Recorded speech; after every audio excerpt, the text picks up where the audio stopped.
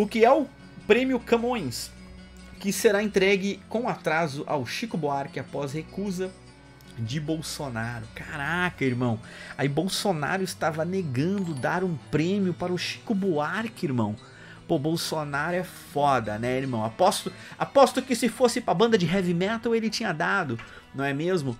Então, tipo, mas é muito interessante porque ali dentro daquela dentro daquela notícia ele tem assim, ó, o ganhador do prêmio, desse prêmio ali que o Bolsonaro não quis dar para o Chico Buarque, recebe 100 mil euros, cerca de 555 mil reais, sendo metade do valor subsidiado pela Fundação Biblioteca Nacional do Brasil entidade e é uma entidade vinculada ao Ministério da Cultura e a outra metade é paga pelo governo português, né? Então, o que eu quero levantar nessa questão aqui para vocês, não, não, a gente não precisa ser muito inteligente, a gente não precisa muito entrar muito aprofundadamente para a gente saber que essa, agora tem o TikTok aqui também. A gente tava falando mal do TikTok, ele abre aqui, ó. Então, a gente tem que entender que o Estado, né, o Estado agora, ele está tendo que pagar, né, todo aquele apoio democrático, né, para a manutenção da democracia que teve de pessoas aqui multimilionárias, né, que já são multimilionárias, vão ficar muito mais milionários, né, graças ao governo do amor. Então, sabe aqueles artistas que tu viu apoiando o Lula, aqueles artistas, ó, o André Henrique tá aí, ele que indicou a notícia, ó, é uma vergonha esse prêmio. É, irmão.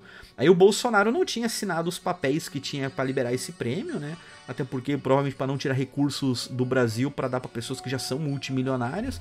Mas isso aí que é foda, né? Agora Cláudia Raia vai fazer uma peça de teatro que vai custar 5 milhões de reais. Então a gente começa a ver, eu acho que fica cada vez mais claro para todos vocês que muitos desses artistas que fizeram L, camiseta do Lula livre, não sei o que, muitos desses artistas estão recebendo alguns milhões, estão recebendo prêmio de 500 mil. E aí eu pergunto, sabe quem é que não está recebendo milhões da Lei Rouanet, quem não está recebendo centenas de milhares de reais do governo? Você, não é mesmo? Você. Enquanto os políticos dão dois peidos molhados e vão de helicóptero pro Ciro Libanês ou pro Albert Einstein, SUS para você. Enquanto você não tem segurança pública de qualidade, teus filhos aí estão indo pra escola, tu não sabe se eles vão voltar.